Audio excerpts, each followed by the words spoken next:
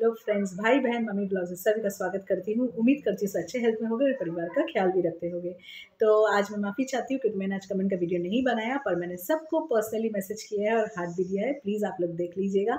और यहाँ पे गुनगुन मैडम जो फाइनली सक्सेसफुल हो गई, ये जान के कि राधिका समर के पास ही। है पर समर जो गुनगुन को ले जाने के लिए इतना मेहनत, मुशक्क़त किया, पर क्या हुआ?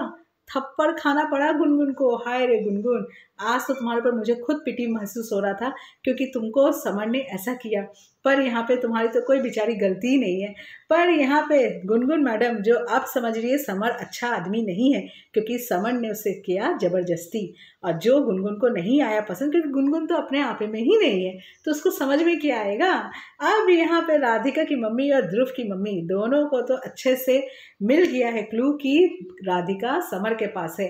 अब ये देखना है राधिका की मम्मी क्या करती है, क्योंकि राधिका की मम्मी बोल रही है, मैं तो अब नहीं छोड़ूँगी समर को, पर आप करेंगी क्या? आप तो पुलिस के पास भी नहीं जा सकती हैं, क्योंकि वो पंडित के नाम में अगर आप बोलेंगे तो पंडित आपका रिश्तेदार है। और दूसरा, आप समर के नाम में क्या बोलेंगी?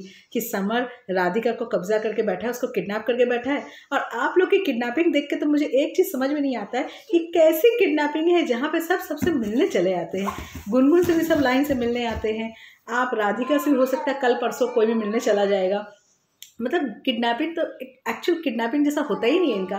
मतलब किडनैप करके घर में रखो और सब एक एक करके विज़िट करने आओ। तो यहाँ पे तो अब देखना है कि कौन किसको विज़िट करता है और क्या, कौन किसके बारे में कंप्लेन करता है। और राधिका मम्मी, आप जितना आसान सोच रही उतना आसान तो है नहीं।